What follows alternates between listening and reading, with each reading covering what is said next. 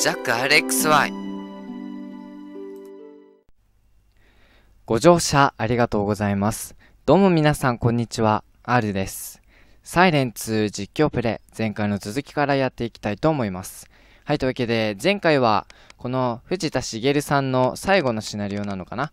このシナリオを無事クリアしまして、まあ、無事に多分二人は、藤田茂さんと矢倉一子ちゃんは、無事に脱出できたんだと思います。で、今回は、この三上州の終了条件にクリアしていきたいと思います。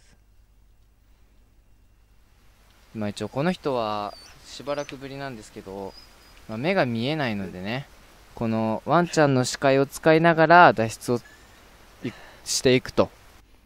でまあ彼は特殊能力として視界弱しながら移動することができるんですけど、え？宝物の発見。そして青の集落からの脱出。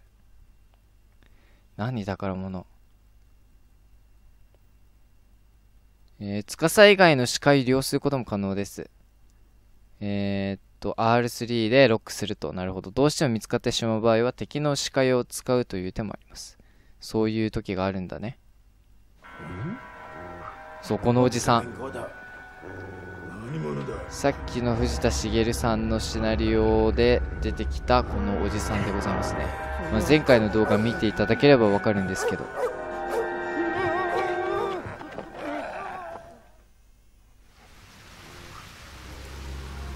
両小屋への到達違う違う司の視界あったあったあった。でまあとりあえずヘラだね。靴べらを手に入れた。操作しづら。いやでもこの前やったのはかなり前だからな。敵の位置とか変わってないかな。ここが両小屋だよね。両小屋の南にある小道を登る。それも同じじゃん。でまあこの先に闇人がいるみたいなんですけど見張れ。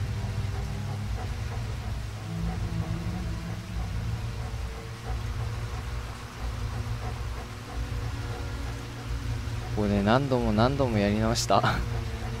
バレるんだもん毎回。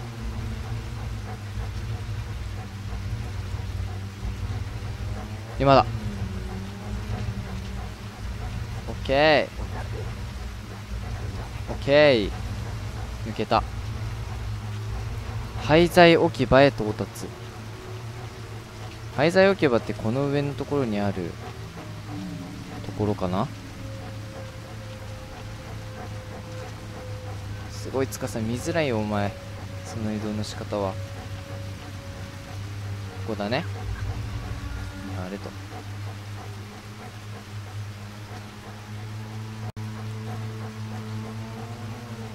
これが廃材置き場でしょ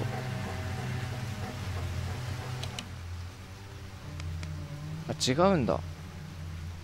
あえー、そんなところまで行かなきゃいけないの？結構上だな。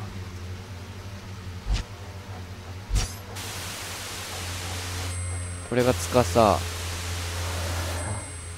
これは誰だろうな。これさっきの人だねこの人も定位置にいるタイプかな？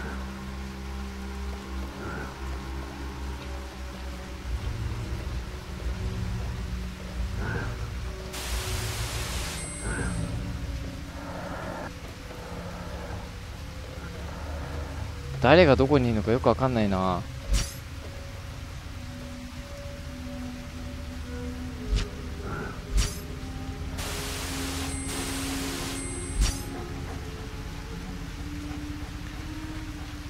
の先だよね。え？なんでバレた？ああやばいやばいやばいやばいやばいやばい。結構ねこのシナリオはバレたら絶望的。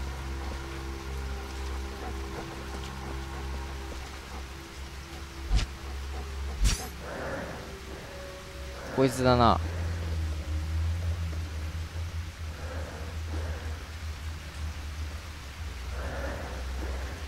こいつだね。バレたのはね。ちょっとしばらくこのままじっとしてこの人が戻るのを待ちましょう。なんだよ。どこにいんだ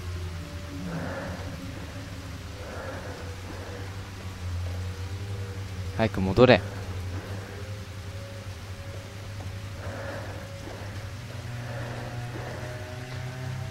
どこだ？この人がここにいるのか。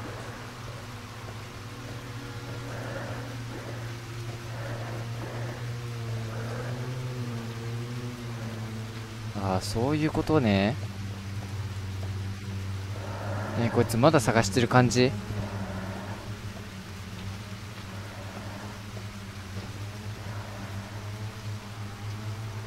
探してる感じだねこれ。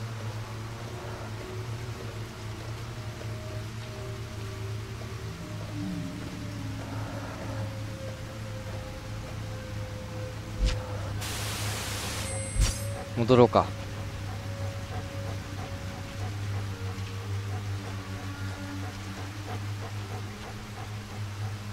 なるほど。前回とは多分まあ、前回この三上柊のシナリオをやった時とは多分状況が違うね。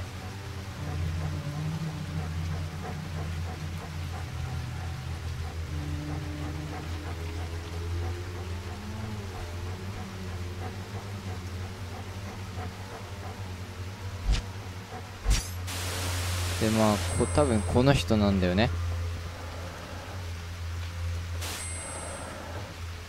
あと司の視界もじゃちゃんと固定してこなきゃダメ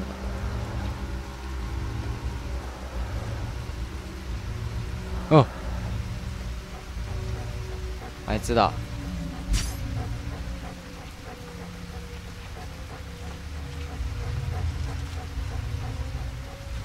え。止まんないで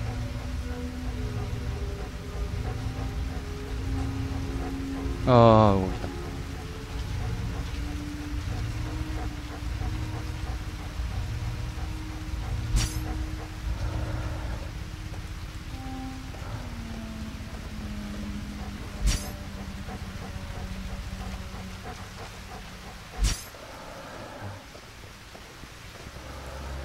あそっちに行くんだ。え？えちょっと待って。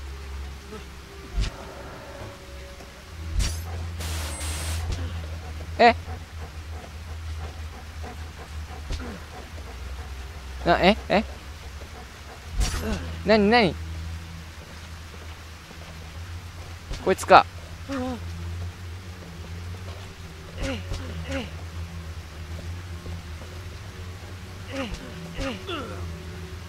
え？見えない。え倒れた？倒れたっぽいね。え？起き上がった。痛い。刃物だよ。痛い。いっ。た振る速度が遅いな。倒れた。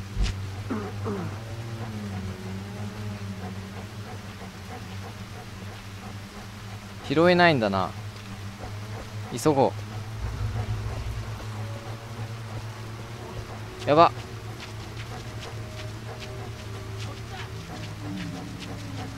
やばいやばい。でもこっちで合ってる。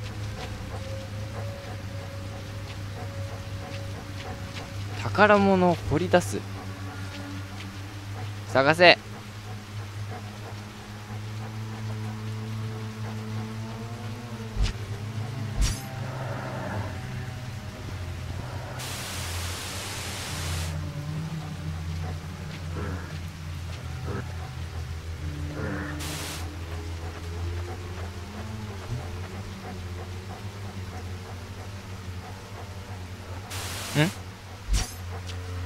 掘り起こす。ああ。よく見つけたね。あ。あつかさ深さつかさえ？え？え？わかんないわかんないわかんない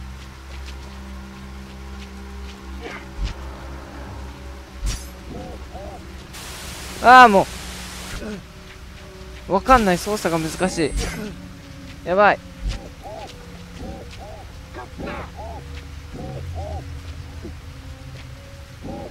見えないもん。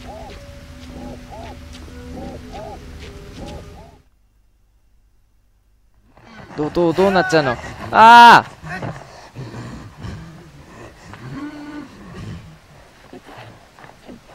死人なのかなあれ。ええー、終わりかいはいセーブしましょう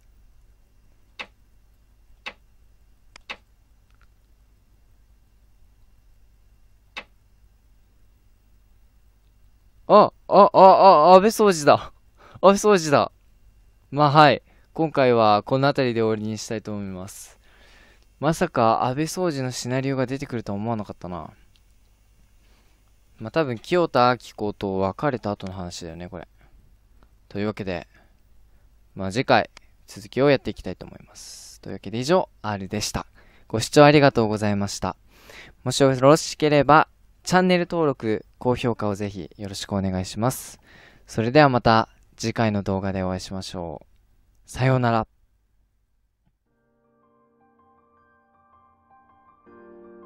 ご視聴ありがとうございました。チャンネル登録をしていただきますと最新の動画が見やすくなりますのでぜひよろしくお願いします。また、ブログや実況プレイ、プレイリストの URL が動画概要欄に貼っておりますので、そちらもぜひご覧になってみてください。というわけで、以上、R でした。